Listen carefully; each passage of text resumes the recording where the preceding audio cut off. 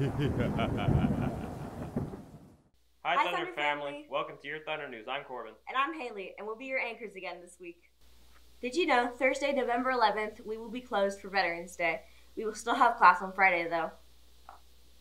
Save the date for the Mountain View Holiday Bazaar on Saturday, November 13th from 9 to 4.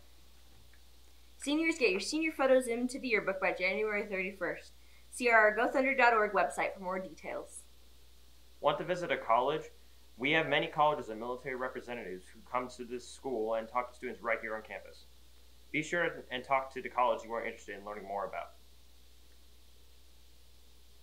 To get a ticket to meet with a representative, go to the events link in your grad year Google Classroom under Classwork tab or scan the events QR code by the Career Center. On Monday, the University of Bothell in Washington and the U.S. Navy. On Tuesday, Dallas Baptist University and Washington National Guard. On Thursday, Linfield University and the U.S. Air Force. And on Friday, the University of Washington, Tacoma. You and your family are invited to a virtual arts STEM college fair on Tuesday, November 2nd from 1 to 5 p.m. It will feature 365 colleges. 14 of those schools are from the Pacific Northwest. If you're a college bound scholarship student, make sure to ask what the college can offer for you. To register, look in your grad year Google Classroom under classwork for the college fair link.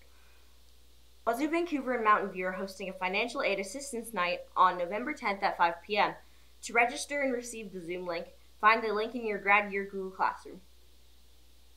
Wazzu Vancouver and Clark College have weekly virtual meetings available for students. Please join these meetings to ask questions and learn more about the opportunities they offer. Visit the Career Center if you have any questions about any of these college events. And now we have some fun student interviews made by Leo and Edvin.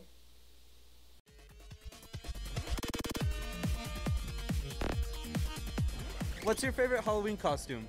Um, I saw a Teletubby earlier, and that was pretty pretty fun. So yeah. Well, earlier today I saw a guy dressed as a priest. Uh, I would have to say a pirate costume right now because I am dressed as a pirate. One of my favorite pirates are is Jack Sparrow. What's your favorite Halloween costume of all time? Uh, my brother did a uh, jigsaw dinosaur last year. Wait, so like from Saw? Yeah. Oh, really? Okay, that's cool. When I was with my friends, we all did like Mario Kart characters, and that was really cool because we all could be a different character. And yeah, I was Princess Daisy. I'm probably a nice doctor because I'm obviously not a good, nice one, I guess.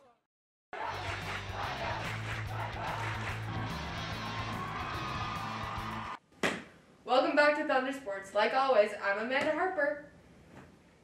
And I'm Haley Boys. We've got lots of great news for you from these past two weeks. First of all, Slow Pitch won two games against Prairie and Evergreen. Boys golf won their fifth 3A league title. Boys tennis went undefeated and won their fifth straight league title. Football won against Battle Ground and won a league title. Congratulations to Brandon Chow for becoming the 3A boys cross country district champion.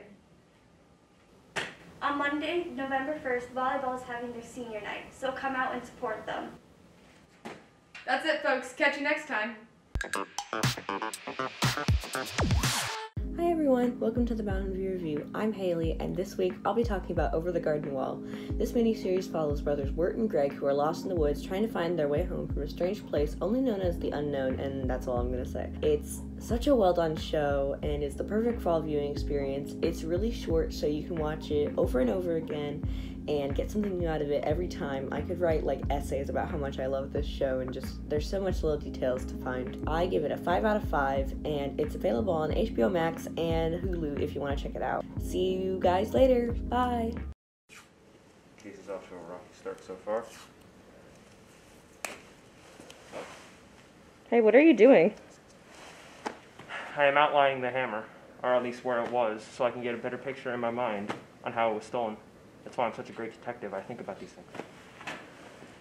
Okay. Hey, um, what do you think we should do next then? Find the hammer. What was that?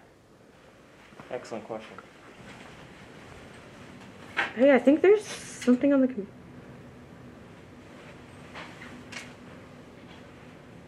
what does it say? Meet me in room 328. Room 329. 329.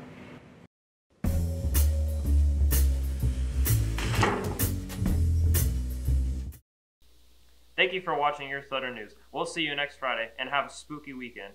Go Thunder!